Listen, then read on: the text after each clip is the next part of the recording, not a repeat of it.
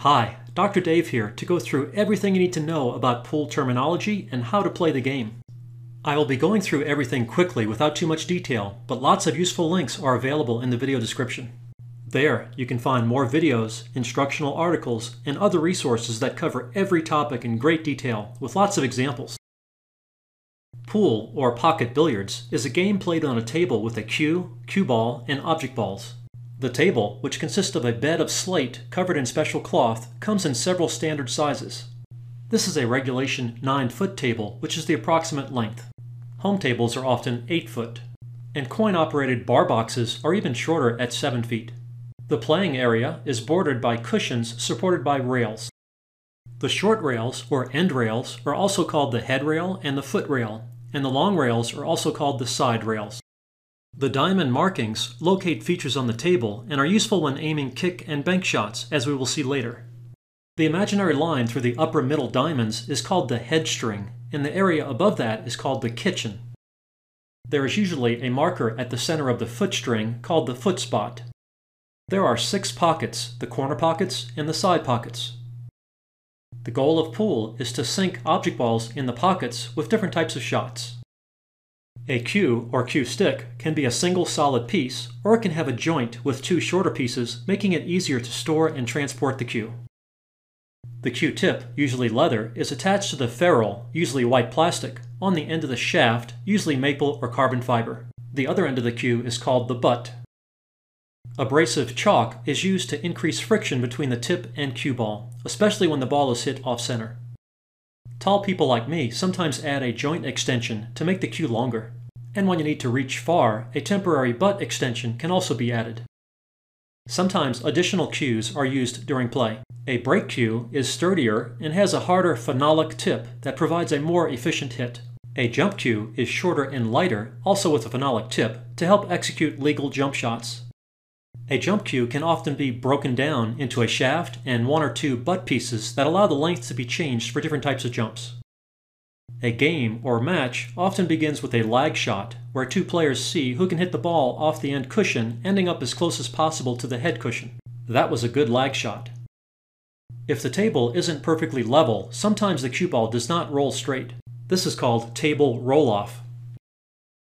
The cue ball often has red dots or other markings that make it easy to visualize the spin on the ball. Here, I imparted bottom right spin to pull the cue ball back and change the rebound angle off the cushion. The first shot of a game is called the break. Before the break, the object balls are racked on the foot spot. You can use a traditional racking triangle or rack or a racking template for this purpose. You want to strive for a tight rack, ideally with no gaps between any of the balls. A racking template, a thin piece of plastic or tough paper with holes, helps ensure a tight rack. The template stays under the balls during the break, but is usually removed after the break. When playing the most common game of 8 ball, all 15 object balls are racked with the 8 in the center and with a solid, balls 1 through 7, and a stripe, balls 9 through 15, on opposite corners. When playing 9 ball, the balls are racked in a diamond shape with the 1 in the front and the 9 in the middle. When playing 10 ball, the balls are racked with the 1 in front and the 10 in the center, the goal of 8 ball is to pocket all of the stripes or all of the solids and then the 8. Here's an example 8 ball break. If you pocket one or more object balls on the break, you get to continue shooting. Under standard rules, the table is open after the break, meaning you can shoot at either solids or stripes, pocketing them in any order. Here's an example 9 ball break. 9 ball is a rotation game, meaning you always hit the lowest numbered ball first.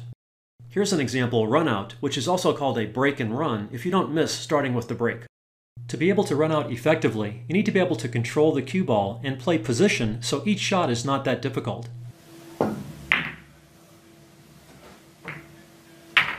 Notice that I hit the cue ball in different places to create spin on the ball to help make it go where I want.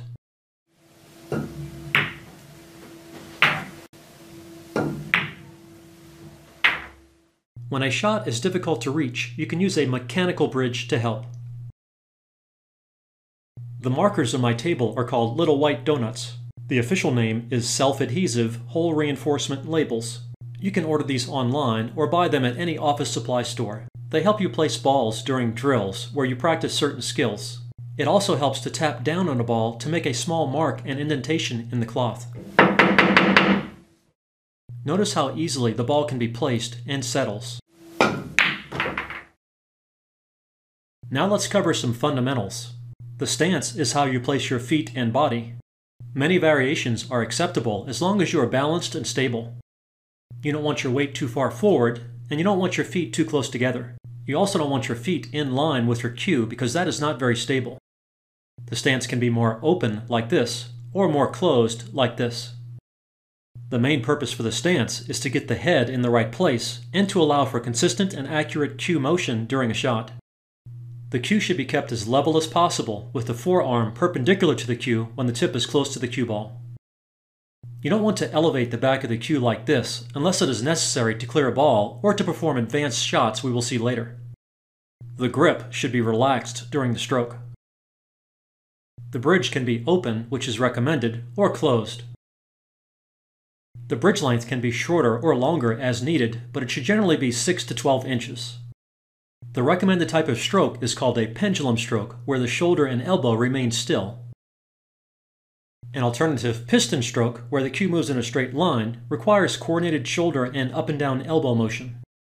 A common stroke variation is called a J stroke, where the backstroke and forward stroke into the cue ball are pendulum style to help ensure tip contact point accuracy, and the follow through is more piston style with the elbow dropping. The grip hand trajectory is shaped like a flattened, horizontal letter J. One of the most challenging aspects of pool is accurate aiming. To pocket the 11 in the side, the cue ball must be driven to what is called the ghost ball position. In this position, a line through the centers of the cue ball and object ball heads straight to the pocket. The required contact point on the object ball is along the line of centers. When aiming a shot, it can help to visualize the line to the pocket, the required contact point on the object ball, and the required shot line to the necessary ghost ball position. It helps to have a consistent and purposeful pre-shot routine, the sequence of steps you follow to plan, aim, and execute a shot. One of the most important steps is to aim while standing, where you can more clearly see the angle of the shot.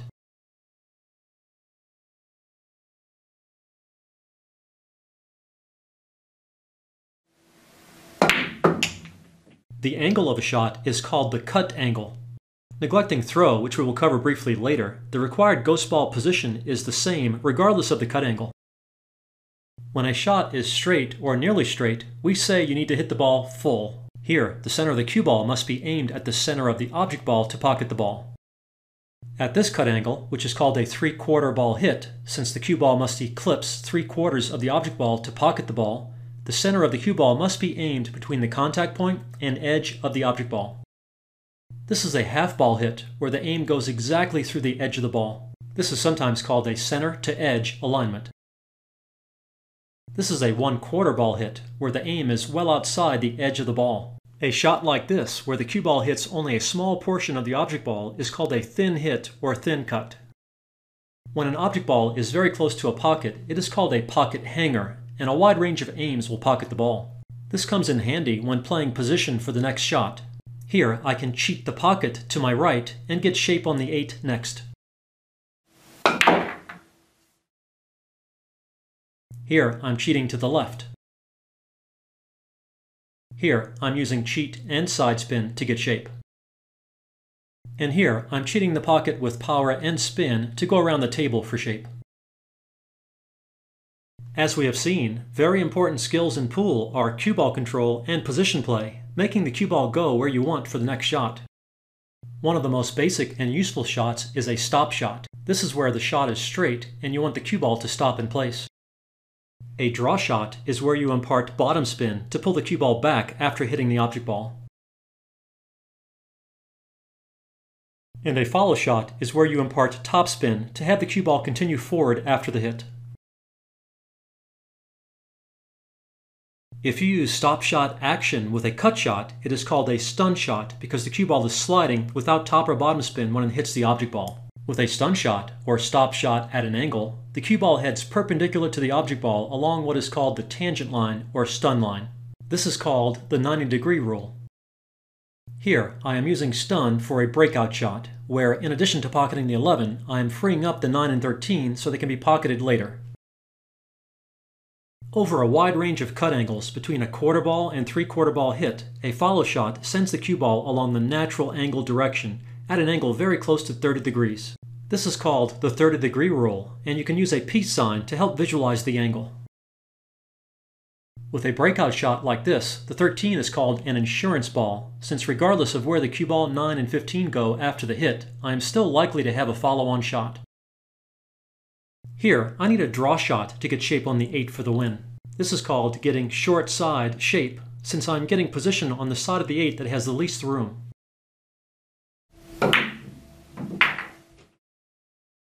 Now let's cover some pool rules basics. For a shot to be legal, you must hit one of your balls first. Here, I am shooting stripes, and I hit the two first, so this shot is a foul. It is also a foul if nothing is pocketed or nothing contacts a cushion after the cue ball hits the object ball. After any foul, your opponent gets ball in hand, meaning they can place the cue ball anywhere they want on the entire table. Here, my foul enables my opponent to easily win the game.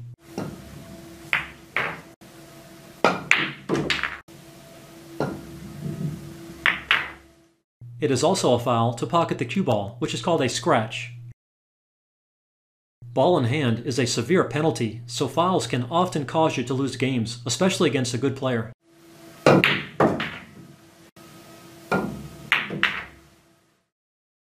It is also a foul to double hit the cue ball. Can you tell the cue ball was hit twice? Even in slow motion, it can be difficult to see. Lots of information and demonstrations dealing with how to detect and avoid double hits can be found at the link in the video description. You are also not allowed to push the cue ball like this. Did you notice how I first touched the tip to the cue ball and then pushed? This is a foul. A miscue, where you try to hit the cue ball too far from center and the tip slips, is not a foul unless it is used intentionally. Here's an example. It is a foul to miscue or scoop under the cue ball like this to cause it to jump over an obstacle. With a legal jump shot, you must drive the cue ball into the table without a miscue causing it to bounce off the slate. A carom or a billiard shot is where you deflect the cue ball off one object ball to pocket another. A kiss shot is where you deflect an object ball off another into a pocket. A combination shot, or combo, is where you hit one object ball into another to pocket the second ball. If two balls are touching, they are said to be frozen. If the line of centers heads straight to a pocket, the combo is said to be wired. When you hit the cue ball to the left or right of center, you impart side spin to the ball. Americans sometimes call this English. Left spin causes the cue ball to rebound to the left off a cushion. And right spin causes the cue ball to rebound to the right off a cushion. When the spin is in the natural direction the cue ball is heading into a cushion, it is called running spin, since it helps the cue ball maintain its speed. When the spin is in the opposite direction, it is called reverse or check or hold up spin. Side spin is also given special names based on the side of the cue ball you hit relative to the shot direction. Here, the right spin is called inside spin since the cue tip is on the same side of the cue ball as the object ball cut direction. The spin is also running, and this shot is called an inside follow shot with top right spin. Here, the left spin is called outside spin since the cue tip is on the opposite side of the cue ball as the object ball cut direction. This spin is also called running, and this shot is called an outside draw shot with bottom left spin. Anytime you hit the cue ball off center, the cue ball doesn't go straight. It squirts offline in the opposite direction. Solid maple cues like this produce a lot of squirt, which is sometimes called cue ball deflection. A low squirt or low deflection or LD shaft, like this carbon fiber Predator Revo, produces less squirt. When you hit the cue ball off center, the cue ball also swerves on the way to the object ball. Swerve is greater with more cue elevation and it occurs sooner with slower speed. The combined effect of squirt and swerve is called net cue ball deflection. With a slow speed shot like this, the swerve occurs very quickly, resulting in very little net cue ball deflection. To aim accurately when using side spin, you must be able to adjust for squirt and swerve, and the required adjustments vary with shot speed, shot distance, cue elevation, and cloth conditions. Here, I am using my system for aiming with side spin to get an accurate hit. SAWS uses combinations of backhand English, where you shift your backhand, and fronthand English, where you shift your front hand, to adjust your aim relative to center ball alignment for a given shot speed and distance. Notice how far off I need to aim, even with an LD shaft, to get a square hit on the 13. See the SAWS link in the video description for more information and help. Sometimes we also need to adjust our aim for throw, which is caused by friction between the balls. Here, with no spin or with left spin, the object ball gets thrown to the right slightly. And with a lot of right spin here, the object ball gets thrown a lot to the left. With just the right amount of spin, called gearing outside English, there is no throw whatsoever. See the throw video links in the video description for lots of information about throw and how to adjust your aim to compensate. A bank shot is where you bounce an object ball off a cushion into a pocket. There are diamond systems that help you aim bank shots. Here, I am using the popular 2 to 1 rolling ball system, aiming along the 4 to 2 line. Demonstrations and details for all common diamond systems can be found at the link in the video description. A kick shot is where you bounce the cue ball off a cushion to hit an object ball, in this case to pocket the 8. The 2 to 1 system works for these also. Top bankers usually use either slow speed to ensure a rolling ball or fast speed to ensure a sliding ball. In both cases, the results are very predictable, although they do require different aims. Here, I am using my one-third more than twice system. Again, details and demos are available at the link. There are also many mirror systems that are useful to aim bank and kick shots. Here's an example. These systems don't require numbers or even diamonds. They are completely visual. Again, see the link for more information.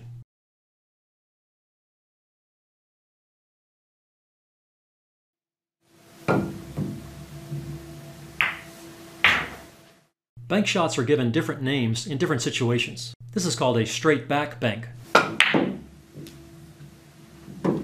This is a cross side bank. This is called a cross corner bank. And this is called a crossover bank, with the object ball clearing the cue ball before the cue ball can rebound and interfere. If the object ball were to hit the rebounding cue ball, it would be called a double kiss. Now let's look at a few break strategy options. Here's a standard 8-ball power break with the cue ball just off center. The main goal is to get a square hit, trying to pocket one or both of the second row balls, and to attempt to leave the cue ball near the center of the table for the best chance for a shot after the break. Sometimes the balls don't cooperate, and you can leave your opponent with an easy run out. And other times, things go mostly as planned. An alternative 8 ball break is the second ball break, where you hit the second row ball first, attempting to pocket the opposite corner ball and send the cue ball straight across the table back into the rack area. I got a little unlucky to not have an easier starting shot, but I have a shot at the 4. With a good spread like this, any good player is a favorite to get out. For a lot more information about 8-ball break strategy and technique advice, along with how to play the game effectively, see the video encyclopedia of 8-ball linked in the video description.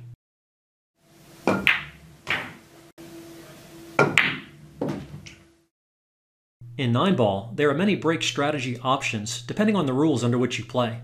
The main goal of a 9-ball break is to pocket the near wing ball in the corner and get a look at the one after the break. With a good rack, this can be accomplished with a soft break. Any good player is going to run out from here. With a really soft break, you can get a very easy early win like this.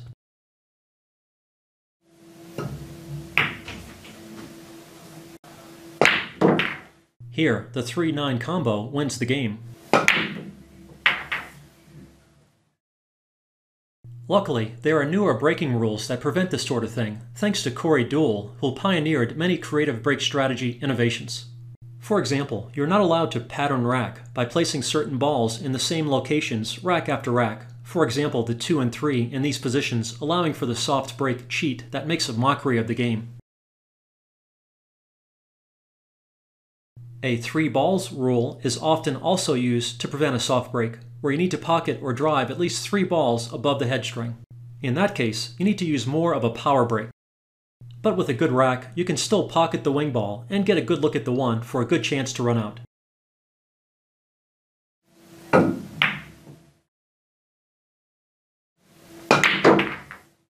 For much more information about 9-ball racking and breaking strategy under all rule variations, and for advice and techniques that will help you play the game more effectively, see the video encyclopedia of 9-ball and 10-ball linked in the video description.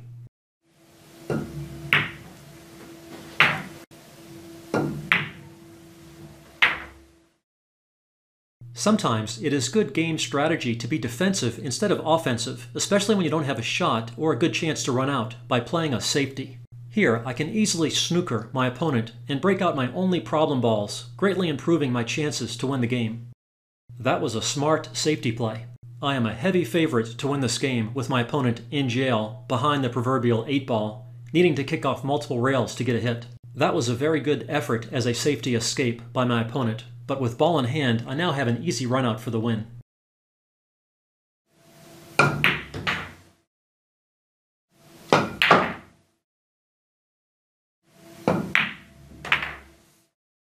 Sometimes you can play a two-way shot with a safety. If I make the bank, I can continue shooting. But even if I had missed this shot, my opponent would still be in a tough spot.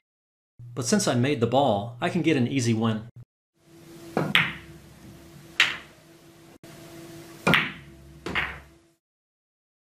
The jump shot is an important weapon in modern pool.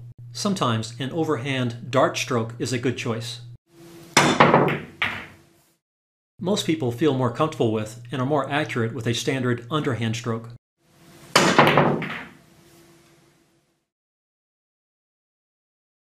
Normally, you want the cue as level as possible to limit unintentional swerve, but when necessary, cue elevation can be used to purposely swerve the cue ball around an obstacle, in this case the 6, shooting at the 8.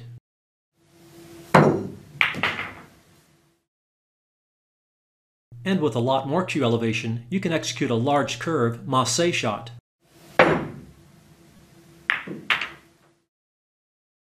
I hope this quick overview of the game was helpful, and I hope you now better understand some terms and phrases you may have heard in the past. I want to thank Bob Jewett for giving me the idea to do this video. Good luck with your game from Dr. Dave.